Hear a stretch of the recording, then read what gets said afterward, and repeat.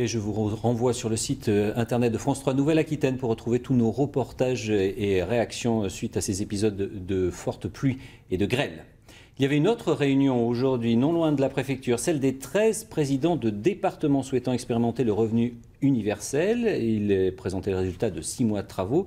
Euh, Jean-Luc Glaise, bonsoir. Vous êtes l'initiateur de cette mobilisation des présidents de départements. On va en parler dans un instant, mais avant cela, une réaction à ce reportage sur euh, l'aide aux viticulteurs touchés par la grêle. Que peut faire le département? Alors, je me suis déplacé sur les lieux pour aller rencontrer euh, ces viticulteurs du Nord-Gironde et constater la réalité des dégâts, et c'est vraiment catastrophique. Nous pouvons, nous, intervenir par conventionnement avec la région, puisque nous n'avons plus la compétence en matière économique et agricole.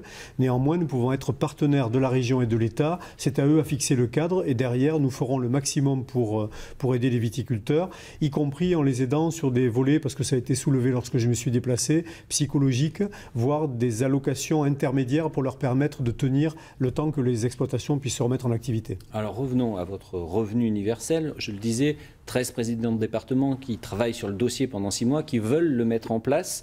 Vous avez présenté des premières conclusions. Euh, est-ce qu'on a d'ores et déjà une idée du, montant de ce revenu universel qui serait euh, donc délivré par les départements? Alors aujourd'hui, l'objet était d'abord de traiter du revenu de base. Ça n'est pas le revenu universel qui est un autre sujet. Nous nous sommes sur le revenu de base. C'est-à-dire qu'il n'est pas forcément versé à tout le monde. Par contre, nous avons défini quelques grands principes. Premier principe, qu'il soit inconditionnel. Aujourd'hui, quand on verse par exemple le RSA, il y a une condition derrière qui est fixée, de justification, d'accès à l'emploi, d'insertion, etc. L'idée, c'est qu'il soit inconditionnel, celui-ci, de manière à ce que nous mesurions dans l'expérimentation s'il favorise ou pas la reprise d'activité.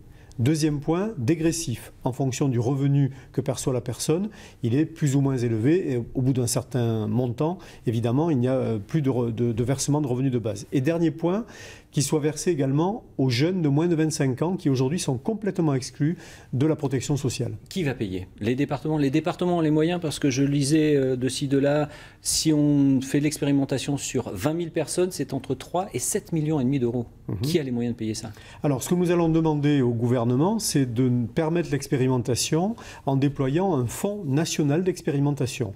C'est déjà ce qui se fait par exemple sur le territoire zéro chômeur, pour lequel l'État fournit des moyens de manière à essayer d'obtenir des territoires dans lesquels il n'y a plus de, demandeurs d'emploi.